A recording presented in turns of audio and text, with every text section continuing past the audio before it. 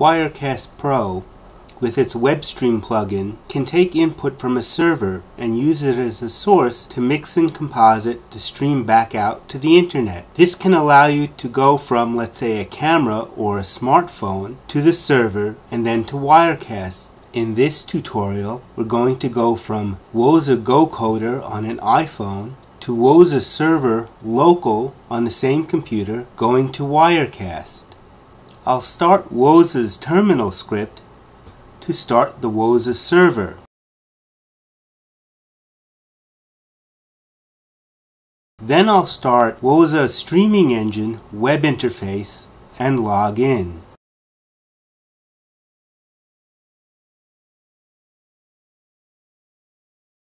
The Wowza Streaming Engine homepage shows status, usage, and connection settings.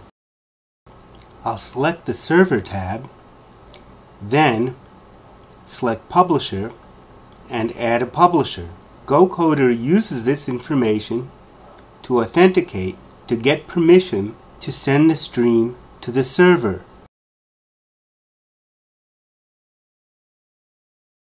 Select the Applications tab and then select the default live application. An application is the thing that sends out the stream types from the Wowza server.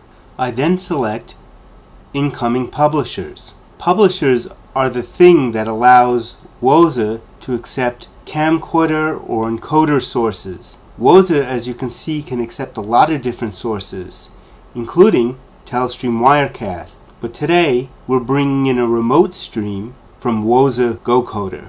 This is the Wowza streaming engine incoming publisher for Wowza GoCoder. As you can see, it has the IP address, the port name, the stream name, which we'll leave at the default my stream, the publisher name, which we created earlier, that's the authentication information that will allow GoCoder to stream to Wowza. And we're going to email this to my iPhone. That way there'll be a hot link in the iPhone email application that I can click on that will go directly to the Wowza GoCoder app on the iPhone and enter in the information, except for the authentication information, which I'll have to enter in manually. The iPhone gets the email with the auto configure information. I click on the auto configure link. It opens the Wowza GoCoder app in the iPhone and does most of the configuration for me. It asks if I want to overwrite the old settings and I click on yes. I then click on Settings, select Wowza Streaming Engine. I look at the host, which shows server and port. I then look at the application, which is our live application and our stream name MyStream. And then I enter in the authentication information. GoCoder tells me it's updating the settings. Then I hit the red button and GoCoder on iPhone starts streaming to the Wowza server. Still in Wowza Streaming Engine Applications, I then select Incoming Stream. You can see the Wowza GoCoder app now sending my stream using the RTSP protocol to the Wowza streaming server. I checked the stream going out of Wowza by using Wowza's built-in test player. I use the Adobe RTMP protocol, click Start, and make sure I can see the stream in the player. Now, we're going to send Wowza to Wirecast Pro WebStream plugin so you can use this as a source in Wirecast. Start Wirecast. Start the WebStream plugin. Then we're going to go back to Wowza, the test player, and cut the stream information so we can go back to Wirecast WebStream and paste that information in.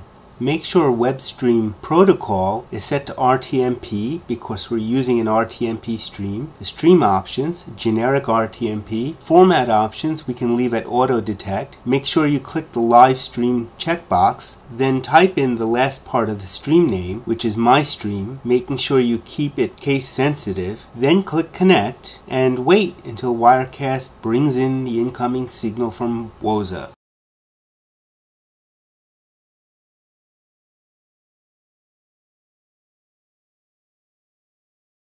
Close the WebStream plugin, go to Wirecast master layer of your choice, add the WebStream shot. And now you're going from iPhone Wowza GoCoder to Wowza Stream Engine to Wirecast WebStream plugin. So you can now pull in a remote source and use it in Wirecast through Wowza Streaming Engine. There you have it.